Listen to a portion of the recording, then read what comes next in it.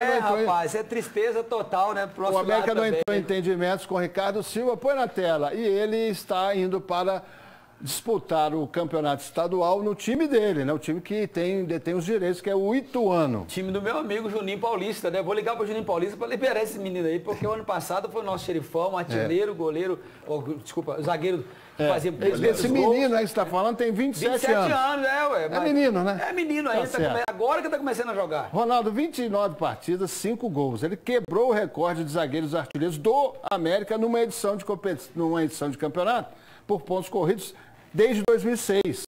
Com o quinto gol marcado, ele deixou o Rafael Lima e o Vitor Hugo, que contabilizavam quatro, eh, em 2017 e 2014 para trás. Então, Ricardo Silva não fica e o América já trouxe outros zagueiros, como aquele recente, o Bauerman, que a gente noticiou essa semana. Exatamente, né? É, como eu falei, é uma pena ele não ter ficado, mas quem sabe ele volta depois do Campeonato Paulista, né? Porque o contrato dele termina no final do Campeonato Paulista. Sim. Pode ser que de repente ele volte aí, porque ele ama Belo Horizonte, com certeza.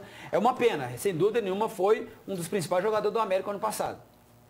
Ok, daqui a pouquinho tem o treinamento do América. Ontem a gente fez um comentário aqui que o América não estava abrindo os treinamentos. Na verdade, na segunda abriu, depois fechou de novo, vai abrir outra vez. Hoje tem a nossa equipe lá, está lá o Vandeci registrando tudo que está acontecendo no Coelho, viu, Ronaldinho? Mas, mas, mas por que fechar? Por que? Um dia fecha, outro abre. Pra, pra, deixa todo dia lá aberto.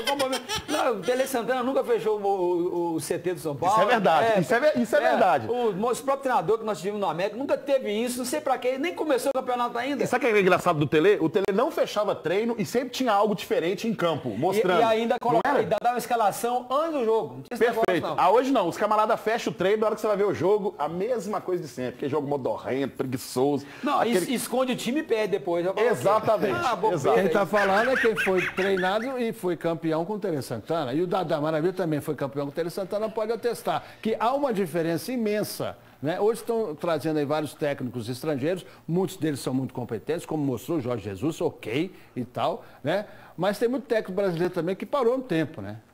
Uma coisa que, que eu gostei muito do Tele Santana é que ele chegava perto de mim e falava assim, Dadá, você não vai mais dar canelada, porque eu vou te ensinar.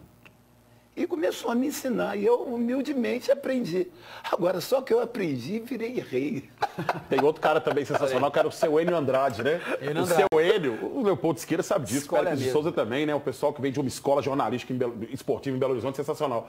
Ele já saiu do treino na Toca da Raposa com a imprensa na beirada do campo, ele assim, ó, aí tá vocês de novo aí, né? Querendo conversar comigo. E o treino aberto lá. Treino abertaço pra todo mundo. Chegava em campo, fazia coisas diferentes, ele, Tere Santana. Então a gente pode estar falando de um outro tempo do futebol. Mas o que, que adianta o cara fechar o treino hoje e não apresenta nada de diferente em campo? Esse, é esse que é o esse que, que, isso aí tá ridículo, né? Isso aconteceu é. muito na Copa de 2010 na África do Sul. Agora, tirem as câmeras e tal, fiquem só os repórteres sem nada, sem celular, sem nada, que o Dunga vai fazer um treinamento fechado. Rapaz, eu ficava olhando. E não tinha nada de novo, não tinha nada de, de mistério. Pelo amor de Deus. A seleção já era limitada, aquela de 2010, né? Parece que é para atrair atenção, né? E a gente viu a lástima que foi a Copa do Mundo, né? É verdade. Saídas e entradas também no Cruzeiro, vamos conferir aqui azul. Na lente do Vandeci Orozimbo, vamos conferir aqui algumas imagens do treinamento de agora cedo do América. Novos contratados já em campo. O diretor de futebol Paulo Brax fez uma revelação, está lá no superesporte.com.br, de que um clube da Série A sondou o Felipe Conceição, o Tigrão, o técnico do América. Sim, já era previsto, né? Não por, pelo Cigano, mas por nós aqui também. né? Porque isso é normal. Ele fez um belo trabalho no América ano passado, na, na, na Série B, apesar de não ter conseguido acesso, mas ele seria sondado sim, com certeza. E os novos jogadores estão chegando, realmente são novos, nós não conhecemos. A gente espera que eles possam realmente encaixar no, no esquema aí e fazerem o melhor que eles puderem para o América, sem dúvida nenhuma. Essa é a nossa expectativa. O América está encaminhando, tá aí, ó, já está treinando, já está fazendo coletivo aí, ó, já tem bola rolando. Bacana demais. Isso é bom, né, Ronaldo? Oh, isso é ótimo. O jogador gosta de sair de, de esse negócio de joguinho, joguinho para lá, joguinho para cá. O negócio é coletivo, que dá um entrosamento melhor e vamos chegar firme aí no início do Campeonato Mineiro. Vocês querem dizer que o Tigrão está treinando, mas quem vai vir para concluir o resultado é o Givanildo. É isso então. Não, não é o Givanildo. Ele vai. Não, não é. Não, não é. Calma, estou só perguntando. O América está encaminhando a contratação do zagueiro Joseph, ex-Vila Nova, e também está interessado no Ribamar, atacante do Vasco.